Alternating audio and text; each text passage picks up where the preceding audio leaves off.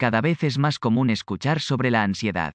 Aunque probablemente no todo lo que se habla sobre ella sea referido a un trastorno, se le nombra y se le da el lugar. El decano Palacio señala que una con el fin de combatir estos sentimientos se debe comenzar con una es un estado constante de alerta que afecta el ánimo, el cual se manifiesta como nerviosismo o temor.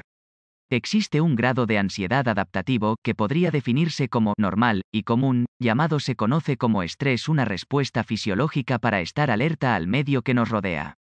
Nos ayuda a anticiparnos y a actuar ante una amenaza. Cuando los síntomas no desaparecen aún y después de que el peligro cesó es cuando se puede hablar de un los trastornos mentales son alteraciones en la salud que impactan en la conducta, los pensamientos y el estado de ánimo de quien lo padece. Cuando se habla de trastornos de ansiedad nos referimos a las afecciones donde la ansiedad no disminuye, sino al contrario, empeora e interfiere en las actividades cotidianas. La ansiedad puede presentar síntomas como sudor, miedo, temblor en el cuerpo, sensación de nerviosismo, respiración acelerada, aumento del ritmo cardíaco, agitación y tensión. Ojo, no todos los síntomas ni los desencadenantes son iguales, por ello se puede hablar de diversos tipos de trastornos de ansiedad, los cuales incluyen se caracteriza por la preocupación persistente y excesiva la mayor parte del tiempo ante situaciones un tanto comunes, por lo menos durante seis meses. En el intento de controlarla obtienen el resultado contrario por lo que a menudo si algunos de los síntomas que se presentan con ansiedad generalizada son inquietud, nerviosismo, preocupación, fatiga, miedo irracional, irritabilidad, tensión muscular, insomnio y problemas para concentrarse. Quien lo padece tiene episodios repetidos y repentinos de peligro, causándole miedo o terror que alcanzan un nivel máximo en poco tiempo como los ataques de pánico.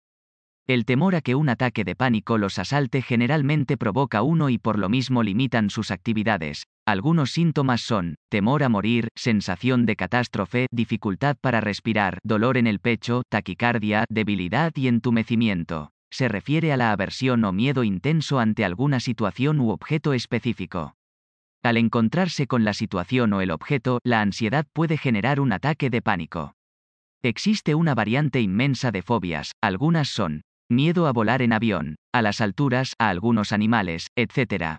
Afecta a quien vivió o presenció un evento traumático que le provocó un fuerte impacto emocional, como una catástrofe natural, un accidente o una agresión, continuamente revive el evento de manera involuntaria provocando a sí mismo un gran malestar.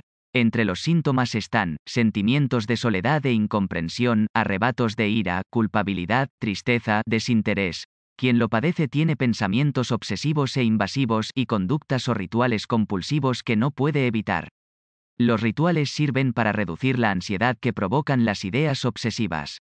Por ejemplo, dejar la llave de gas abierta, la compulsión de revisar una y otra vez que efectivamente esté cerrada. Las causas de cada uno en ocasiones no son tan claras o no hay una en específico. De hecho, también influyen otros factores como vivencias en la infancia, afecciones de salud y rasgos de la personalidad, es importante recordar que no todas las personas manifiestan los mismos síntomas ni con la misma intensidad, por lo que es importante valorar si comienzan a ser molestos e interfieren en las actividades diarias y calidad de vida. En caso de que así fuera, es recomendable buscar ayuda profesional. La prevención y el tratamiento son importantes para no tener dificultades en su vida cotidiana y laboral.